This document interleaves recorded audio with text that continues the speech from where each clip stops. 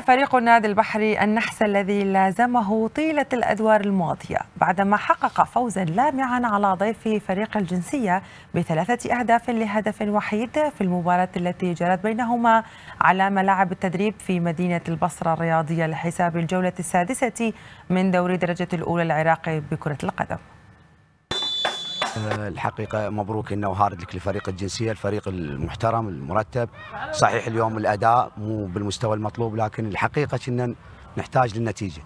لأن كل مباراة جاي نأدي على أعلى مستوى مع الفرق وجاي استنزفنا نقاط في تعادلين إلى ثلاث تعادلات.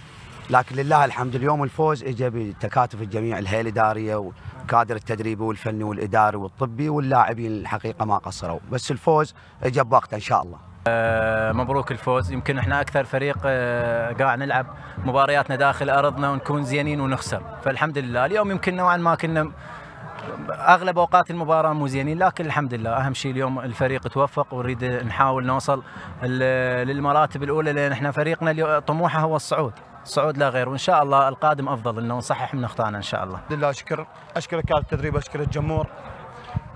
لأن إحنا ثالث لعبه عندنا بالمدينة الرياضية بالبصرة. ببصرتنا أول فوز نفوز يعني قام الضغوطات علينا زايدة.